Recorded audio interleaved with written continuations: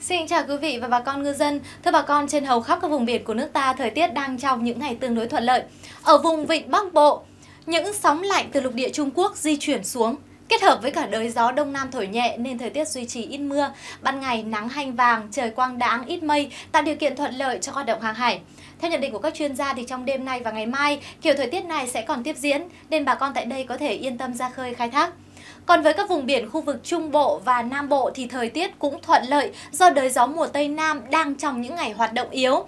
Mưa rào và rông chỉ xảy ra ở phạm vi nhỏ và hẹp. Khu vực có mưa nhiều hơn cả sẽ là vùng biển dọc các tỉnh khu vực từ Bình Thuận trở vào cho đến khu vực Cà Mau. Tuy nhiên thì mưa rông tại đây cũng chỉ ở diện giải rác với cường độ nhỏ. Thời tiết nhìn chung không gây cản trở gì nhiều đến các hoạt động hàng hải. Thưa quý vị bà con, sau đây sẽ là phần dự báo cho các vùng biển trong 24 giờ tới. Tại vùng biển phía Bắc Vịnh Bắc Bộ, trong đêm nay và ngày mai trên vùng biển này, trường gió Đông Nam thổi nhẹ với cường độ khoảng cấp 3, cấp 4 nên sóng biển không cao chỉ trong khoảng là 0,5 cho đến 1 mét. Ban ngày trời nắng đẹp, không mưa. Ở một vài nơi thì trong khoảng nửa đêm trở về sáng mưa có thể sẽ xảy ra nhưng mà với lượng nhỏ. Tầm nhìn xa thoáng trên 10 km nên các hoạt động đánh bắt của bà con ngư dân đều có thể diễn ra một cách khá thuận lợi. Tại vùng biển phía Nam Vịnh Bắc Bộ thì trong đêm nay và ngày mai thời tiết tại đây cũng khá tốt. Trường gió Đông Nam duy trì với cường độ yếu trong khoảng cấp 3, cấp 4 nên chỉ tạo ra những con sóng cao từ 0,5 cho đến 1 mét. Thời tiết hầu như tạnh giáo, không mưa, bà con có thể hong phơi tôm mực, các hoạt động đánh bắt gần bờ và cả xa bờ của bà con có thể tiến hành bình thường trong thời điểm này. Cũng giống như ở khu vực Vịnh Bắc Bộ thì trong đêm nay và ngày mai, trên vùng biển từ Quảng Trị đến Quảng Ngãi bao gồm đảo Cồn Cỏ Lý Sơn, thời tiết duy trì trạng thái tương đối tốt. Mưa rào chỉ xảy ra một vài nơi với lượng không nhiều nên hầu như không gây ảnh hưởng đến tầm nhìn. Gió nhẹ, biển êm nên rất thích hợp cho hoạt động của tàu thuyền du lịch ra thăm đảo cũng như là các hoạt động đánh bắt thủy hải sản của bà con. Tại vùng biển từ Bình Định đến Ninh Thuận, đảo Phú Quý, tại đây gió duy trì hướng Tây đến Tây Nam với cường độ trong khoảng cấp 3, cấp 4, sóng biển cao dưới 1 mét. Tại đây thì thời tiết hầu như là không có mưa, có chăng thì chỉ là một vài cơn mưa rào xuất hiện thoáng qua với lượng không nhiều. Nhìn chung thời tiết vẫn ủng hộ cho hoạt động hàng hải.